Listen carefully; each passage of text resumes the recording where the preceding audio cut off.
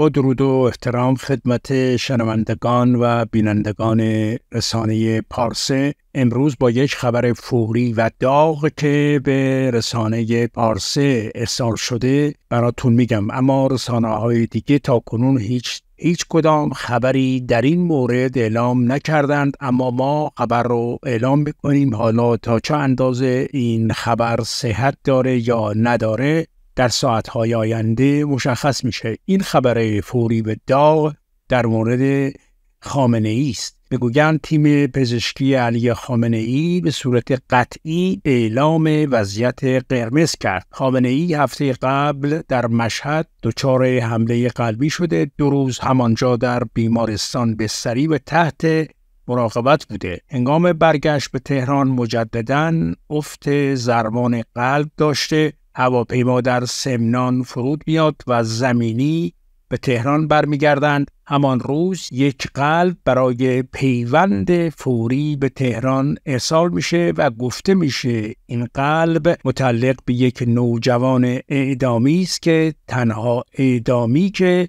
گروه خونه متناسب با خامنه ای داشته که با دستور محرمانه و فوری و به علت نیاز خامنه ای بلافاصله حکم اعدام اجرا و قلب وی خارج میشه.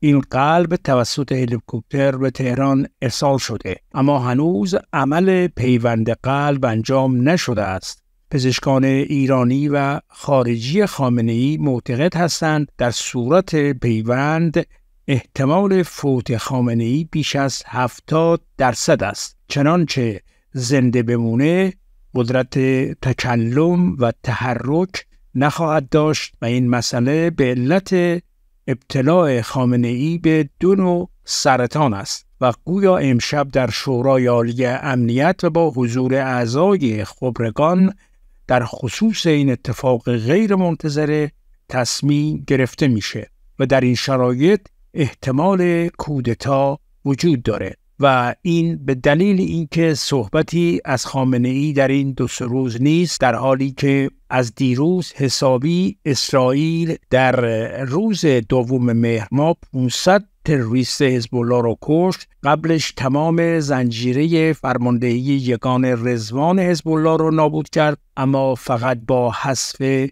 دائمی سید حسن نصرالله و قطع سرمار در تهران اسرائیل اعلام کرده تا بتواند کشور خودش رو امن نگه داره. و این پیام ها رو اسرائیل داده. این هم آدم کشته. هنوز صحبتی از خامنه ای نیست.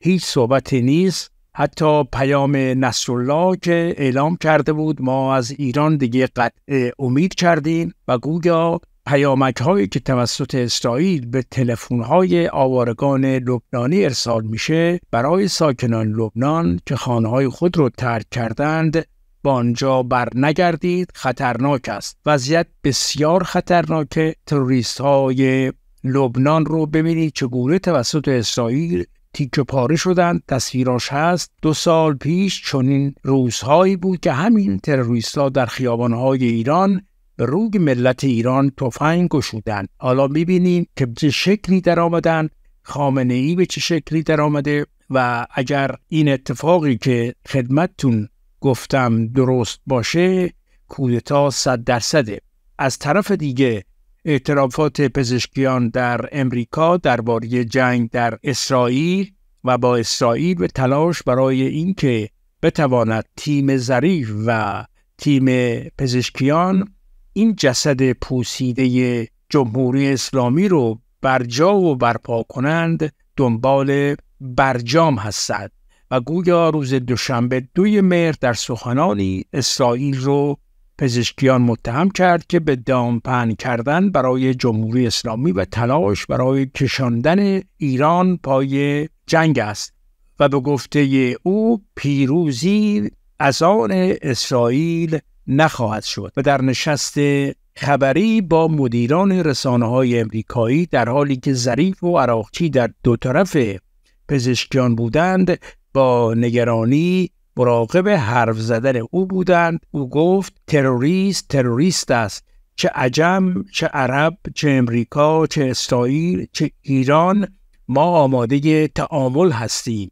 ما آماده ایم که تمام سلاحهای خود رو کنار بذاریم.